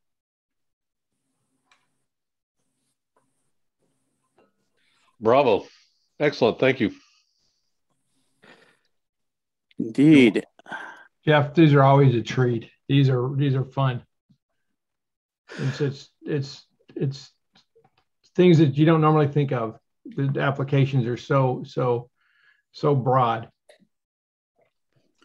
and some of them are once once you get into it some of them are just really cool and and and for just fun to do. I mean really fun to do. Okay so we do have a few questions on the chat. Um, most of them from richard. The first one is any issues running dcc through the magnets? Have you ever tried that? No you shouldn't have any any issue at all uh, running DCC through. It, it, and the reason is it you're actually running through the wire through the nickel. Uh, I mean, some some current could go through the magnet, but it's it's a non-issue, and and the entire magnet is coated in nickel. Nickel is a really good conductor, so that shouldn't be an issue. So the field wouldn't uh, degrade the signal shape? No, I, I actually looked into that because that's one of the things I thought of originally, and it turns out you the the uh, the field in the neodymium magnet, even in the little magnet, is so blasted strong. You'd need to put like 100 amps through it to have an effect. Because think about it, you only have one line of current going through. It's like one loop through it. You have to put this enormous amount of current to, to, to have any disturbance in the force. Literally, disturbance in the force. But I actually I actually looked into that. I have a friend of mine that that that's pretty good at, at magnetic physics so I bounced some ideas off of him, and he said, "You can't be kidding me." No, good question. I thought it was a good question. Other questions? Okay. Um, Richard, you may need to expand on this one. While magnets for a given uncoupler matter for the polarity, does it matter if another uncoupler is oriented the same way? Uh, so if you've got uh, for one uncoupling patch that you've put into the uh, uh, onto your track, you obviously have to have all three or four sticks of them north to one side and south to the other. But down the line a mile, Doesn't matter. does it matter? Doesn't? No. Okay. Didn't No. think so. The but- reason, the reason is those little hoses are ferromagnetic. They're not mag. They're not magnets. Okay. So no, it doesn't matter. And And, can, and if you think about it, you could have answered your own question, because if you if you take the two cars, leave them coupled and reverse them, they still uncouple. Yeah. Yeah. okay. And for the remotoring application, um, can you have too strong of a remoter magnet? Never saw that. Um, I suppose it's possible, but I've just never seen it uh, at, at all. Okay. Uh, David Holden sees an application for magnets for attaching passenger car roofs. I wouldn't be surprised if somebody had already done that because Athearn is doing it for their cab roofs on their new Genesis 2 models. Yeah, So it also can- turned out I think BLI tried that too. Yeah. It just, it seems to be less destructive than trying to use screws to hold a roof on. Or friction. Or those yeah. bloody plastic clips. Yep. Yeah. No, I I all for that. And the neat thing is you you get to control how strong it is by the size of the magnet you use.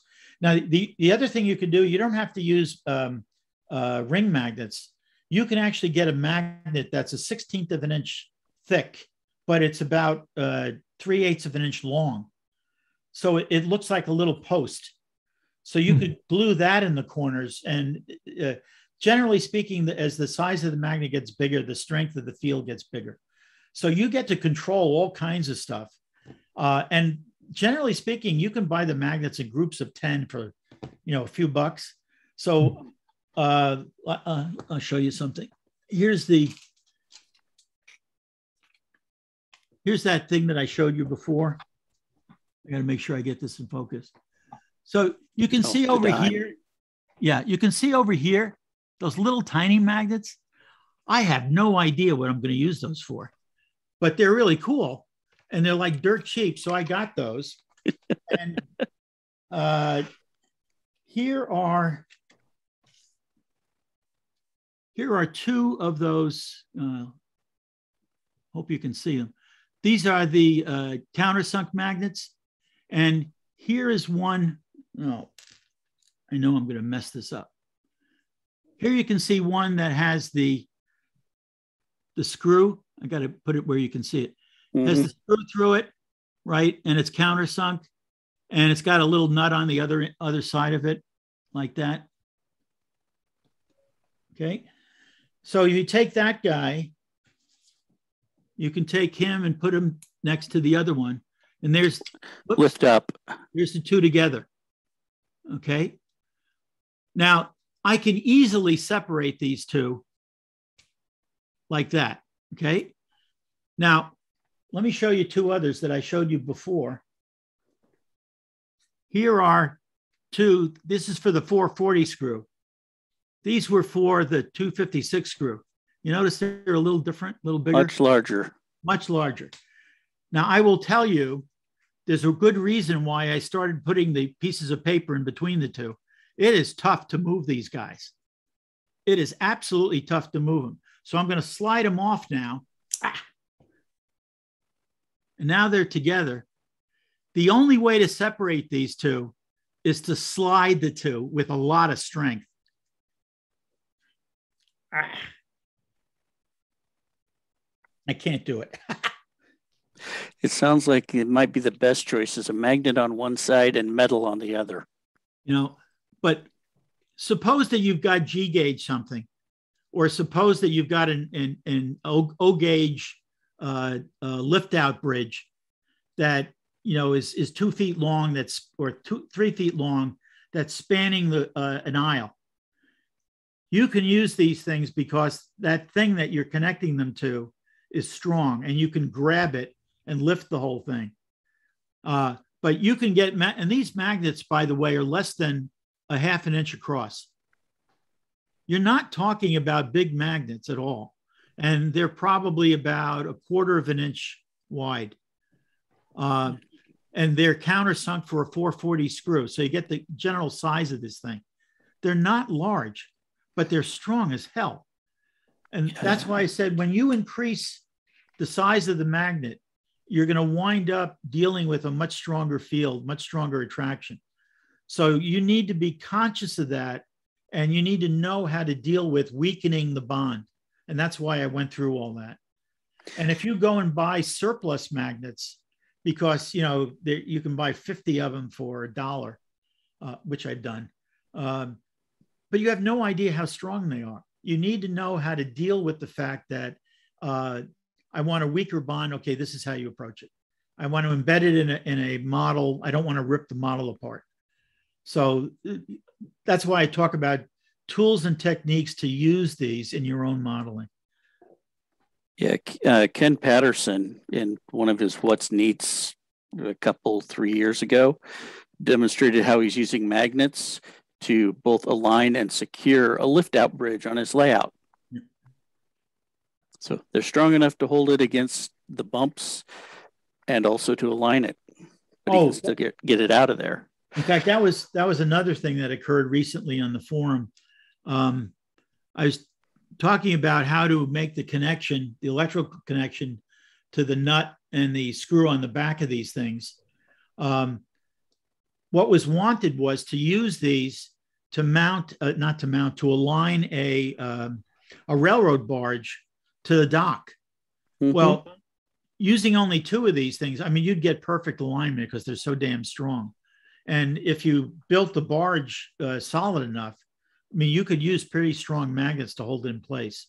And even these would work. But in all honesty, what I found more and more is I'm trying to find weaker and weaker magnets uh, for models, not stronger and stronger ones. Um, for the electrical connections, for putting wires in there, would it be better to squeeze the wire between a couple of washers instead Um, of between the nut and the magnet itself? Yeah, it would. Uh, and but even if you have the washer there, you can tighten that nut so much that you'll crack the magnet. I mean, it, it is possible to crack these things. They are brittle, and they're not like steel. They're not. They're not as strong as steel. Okay, So it, you, you got to realize the way these things are formed. They actually start with a, a, a an alloy that's a, a mixture of powders, of metal powders, and they they uh, force them together under heat to form the the uh, the shape. Then they uh, nickel plate it, and then they magnetize it under this very strong field. so So sintered. yeah, so you got something that that's built in all these weird shapes, and uh, this is the reason they they are able to use and create all these shapes. Whereas in the Alnico magnets of years past, uh, they were made usually in a bar that they cut uh, and then magnetized. It was a different, really different process. Okay, that leads to Richard's next question is does the nickel plating ever flake off? Yes, and it flakes off if you heat it, and it'll flake off if you chip it. Uh, and sometimes you can actually crack it, and it's the plating that'll crack. And I've had magnets where uh, I cracked it. I well, actually I chipped the corner of it. I knew I chipped the corner of it. I decided I was going to use it anyway, and come back two years later, and, and the surface is disintegrating, literally in, in powder, and, and it, it, it was it was terrible to get rid of. Um, a lot of times now, if I have a magnet and I embed it in a model, I will literally cover it with uh, super glue. So the the nickel plating is a very very thin coating. Yes, it is It's not like it's embedded in a two or three millimeter layer of metal. no way, no way, not even close. You know, you could probably count the number of atoms thick it is. You know, it's kind of like uh, uh, gold foil that they use for uh, you know uh, putting putting gold and, and embossing on stuff. It's really thin. It's, it's very very thin. So yeah, you can you can crack it, you can chip it, you can crack it so you can't even see the crack. You come back a year later and you'll all of a sudden you see the crack because it's disintegrating at the crack. So that, that's why to protect them, I just take a very thin super glue. They have a super thin uh, super glue. I'll take that. I'll, I'll put it on a piece of paper, blob it on a piece of paper, take a toothpick, and then coat the whole magnet. And you can bear if you do it right.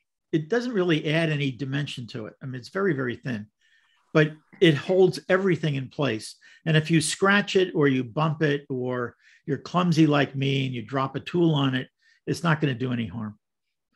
But so I've learned to go and, and do that.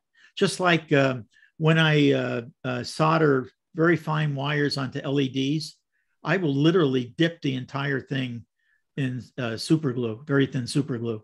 It doesn't change anything at all, right? And it protects everything, holds everything in place, insulates the connections so that you can you can use it anywhere. You can put it up inside a brass housing. It's not going to matter. Good idea. Um, okay, this one's from David. Could magnets be used to attach decoders or speakers to the inside of a locomotive? Sure. I don't know why you'd want to, but you could do it. I wonder about the speakers. It's The just a speakers speaker is you'd have to basically a magnet itself. Yeah, the, the speaker is going to change the magnetic field inside the speaker, and every speaker's got a magnetic field. So you'd have to be ultra careful how you did that. But you could attach a decoder. There's nothing particularly magnetic. Ah, I take it back. Some decoders have a reed switch Hmm. actually mounted on the decoder. So you got to be real careful of that. Otherwise, you'll permanently be resetting the decoder, Hmm. Which is usually what the reed switches do. I was just thinking, and the ESU LokSounds, since they're read writables, it, because the prom, you have to do something special to a magnet's not going to affect that. Is I it? don't. It, most proms now, the answer would be no. Okay. uh, once upon a time there was a ferromagnetic memory. Uh, it would have an effect on that, but nobody uses them anymore. Are there any other questions out there? Remember that you're probably on mute. All right, um, let me open this up. Does anybody have any presentations they'd like to do? Kind of an impromptu thing. Okay, not getting anything from that. Um, does anybody have any questions for anybody on anything? Let's open it up as social hour, though I don't think it's going to last an hour. Just go ahead and unmute yourself and let's hear you. I'll, I'll add I'll add one thing that uh, only because uh, I have a personal beef with it. Uh, I use this guy. Uh, if you look at that, that's a, a battery holder for that that special battery. That's a two point two and a half amp hour battery. That means you could draw an amp from that battery for two and a half hours. In, in theory, and in practice, it's a little different. I think it's about the same size as my cell phone. Yeah, in fact, I wanted you asked me about that the other day. I wanted to show you this Ah, double A, double A battery compared to that. So it's not the same. not even And close. Two double A batteries uh, back to back are longer, and you can also tell that it's. I don't know if you can tell. Yeah, it's much bigger dimensionally. It's, it's a little thicker. The thing that I wanted to point out is if you guys ever uh, either read uh, the article or uh, go follow up on this thing, uh, I don't particularly like uh, this battery or this battery holder. Actually, I like the battery. I don't like the battery holder. It does a great job as far as it goes. But what I found out was every time I ordered it from Amazon, I got a different holder. Hmm. Um, and some of them had a little slide switch over here instead of the push button. Uh, some of them did not work at all. I had two different orders, uh, fortunately for only two, um, that did not work. No matter what I, I did or, or invented or tried to find out instructions on the net, it just didn't work. Uh, I, I got one out of a set of three that wound up working, which was this one. And I went the other day because I always like to check my URLs that I give to people. Uh, all of them are now different. So I didn't provide a URL for this thing. Uh, but that thing, uh, I don't know if you've ever seen these uh, batteries uh, that you can reach, emergency batteries you can recharge through a USB connection, and they'll charge your cell phone, you know, when you're Power away packs. right? Well, this is the equivalent inside of one of those. You recharge it by using these two connections, one of these two connections over here. You get a cable that goes from there to your uh, 5 volt uh, uh, USB connector, and that charges the battery up. And it does a good job. You know, it seems like it does all the right things. And then once you you've got the battery charged, you can use the USB connection uh, that you can see over there on the end, uh, or along the side on both sides, it's got connections for five volts and 3.3 volts, which is what I use. Um, so you can use it in all those different ways. The problem that I've got is that whatever who, whoever is manufacturing and selling these things keeps changing the design. And I know from the originals that I got, they changed the design because it didn't work. So basically, I don't trust it. And uh, consequently, I don't really uh, go around recommending it. But what you actually can do and what you might see, you can actually take uh, two AA batteries back to back and put them inside a car. So if you wanted three volts or six volts, if you stack them one on top of the other inside the uh, the car, because here's the uh, the outer covering for it, so you can get an idea of, of the size. You can actually make a, a, a six volt uh, power car just using AA batteries, and you can get these to be lithium batteries, and and they're they're pretty good. Um, so there's a lot of different ways to, to cut it, but I actually don't recommend these particular battery holders and chargers, even though I did find one that works. I can't find the same one anymore. So I've got no way to recommend it. Uh, and I hate to disappoint people, but that's the way it is. However, the magnetic connection still works. um, have you got the for the battery holders? They've got AAA and AA battery holders out there. Oh, have yeah. you looked into any of those? Uh, I have them. I haven't tried it because I didn't want to keep swapping batteries. When I came across the uh, 18650 uh, battery, I mean, it's got so much power in it, it's ridiculous. And in the application that I actually wanted to use it for, it wasn't the caboose. Uh, it, it, was for uh, an, another electronic set and uh, that was more than enough power that I didn't have to keep recharging it all the time. So, so that, that's why I wound, that's why I wound up with it. All right. Any other questions from anybody? I have one on uh, back on batteries again. I've got some of these first magnets that I've used to mount removable roofs on structures. And you refer to them as north and south. And I understand how do you determine which is north and which is south? Like you understand you can take two souths, try to put them together and they repel. You take two norths together and they repel. And you put a north and a south together and they connect.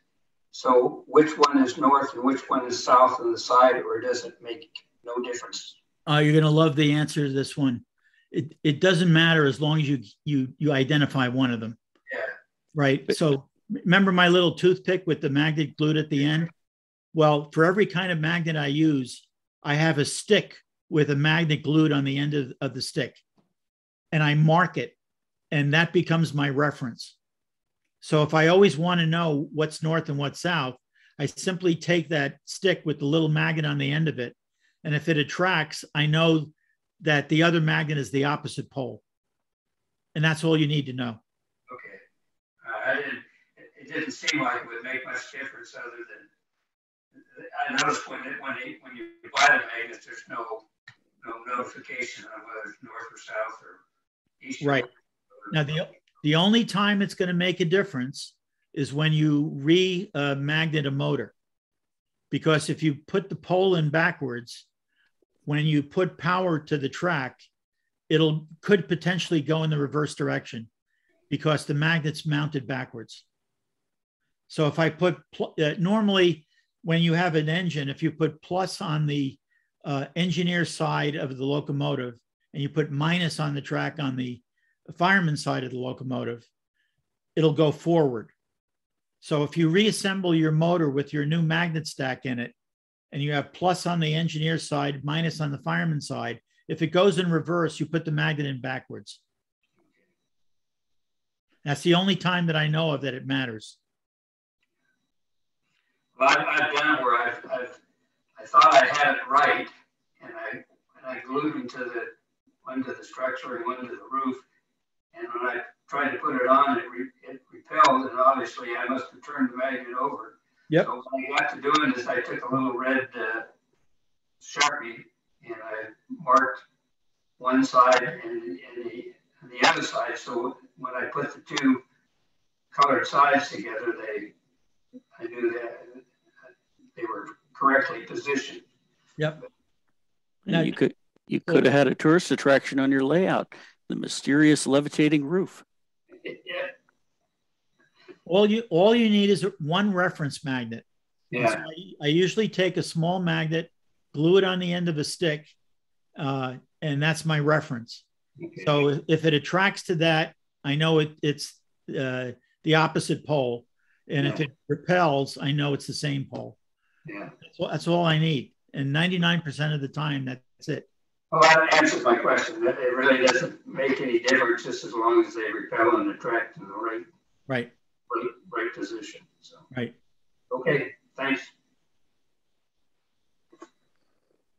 Okay. Anybody else?